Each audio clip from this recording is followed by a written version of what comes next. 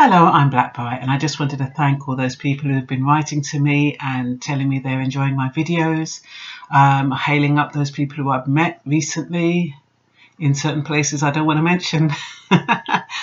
and yeah, I just want to big up all the followers and yeah, stay blessed.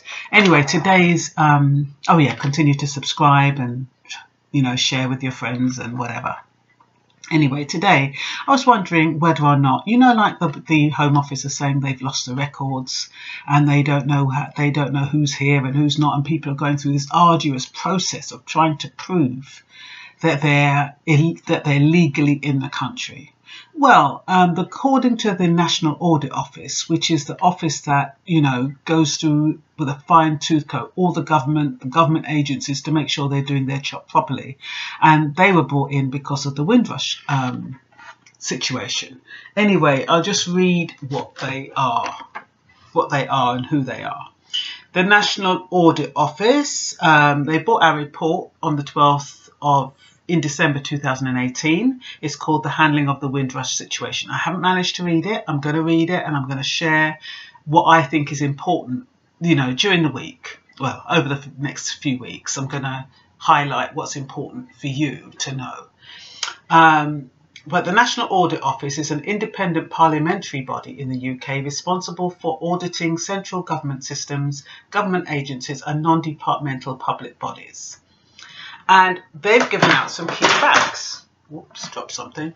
Um, they've given out some key facts, which makes me wonder whether or not the Home Office really lost the Windrushians documents.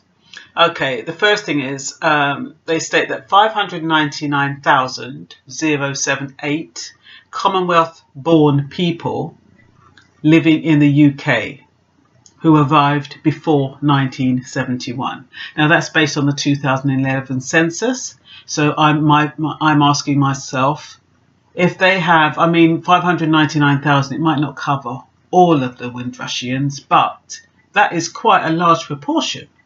So the same way they've got these, these people's documentation, they should really have the others and I would like to know what kind of documents they had to prove that they know that these people arrived before 1971 because I heard that some people can't even get their medical um, documents prior to 1971 so or 1973 or 74 whatever it is. Um, there were around 171 Commonwealth individuals on whom the Home Office has a record on its immigration data, database and who were born before the 1st of January 1973. Well, if they're born in the UK, I'd expect them to have that, so that, that's nothing new but it does mean that those people shouldn't have to, those people born in the UK prior to 1973 shouldn't really have to prove that they were born of um, Commonwealth citizens because they've got the records.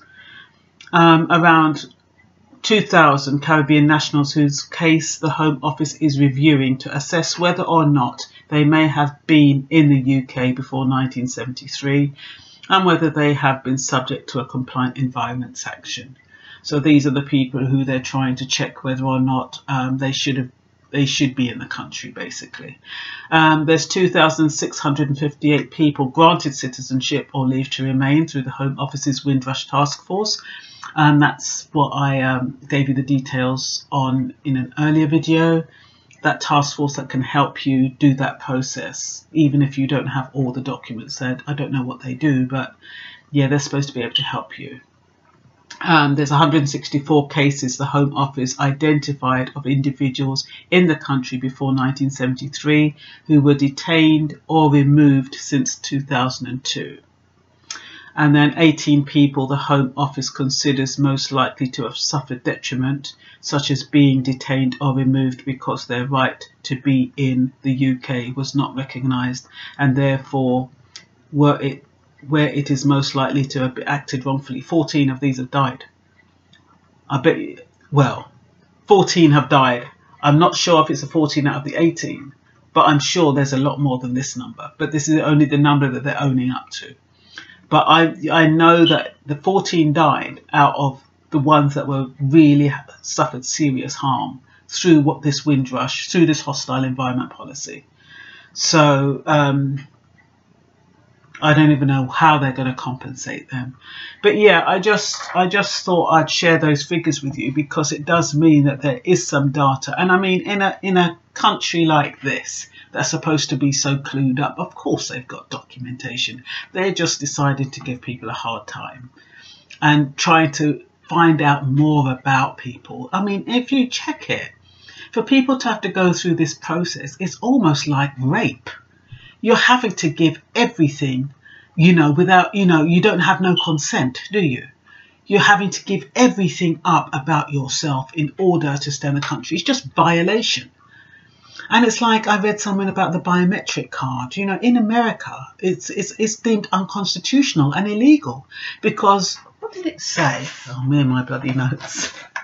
Um, they call it NIDS in um, in America, and NID stands for the National ID System, which is equivalent to our biometric card. And the Supreme Court ruled on Friday, the 12th of April, that's earlier this month, that the NIDS bill is unconstitutional. The entire NIDS statute has been declared null and void and without legal effect and violates the right to privacy and it is not demonstrably justified. So I'm not quite sure how the biometric um, permit doesn't hasn't got the same result because it more or less is the same thing. It's violating your privacy. It's got everything on it. So, and the thing is, the biometric card is only for foreign people. So it's just like it's it's one of those racial profiling again. It's just so so wrong. But unless I mean they had somebody to challenge that in America, there's nobody to challenge that here. So they'll probably get away with it until somebody does. But I'm surprised that these lawyers are not challenging something like that. Oh, but it's not lawyers, is it? It have to be human rights. And that's probably another reason why they want us to leave the EU, because once we leave the EU, there, there's not going to be much human rights for us left. Anyway, that's all for now. Watch out for my um, next video. It's going to be why has bias lasted so long? Throughout the, throughout the years, throughout the generations, really. Because when you think about it, you know, why hasn't things changed over generations and generations and generations? So I'm just going to give my viewpoint on that. You know, it's just my point of view. It's nothing academic. I'm not going back to know, I'm not citing any academias and you know, books or anything like that. It's just my thought processes on why. So that's going to come up um, very, very soon. And yeah, and that's all. Keep sharing my videos and thank you very much for writing to me, those who do write to me. And yeah, like I always say, if you've got anything you want me to discuss, research, you know I'm happy. Just email me at blackbrightnews at gmail.com. That's all for now. Bye bye.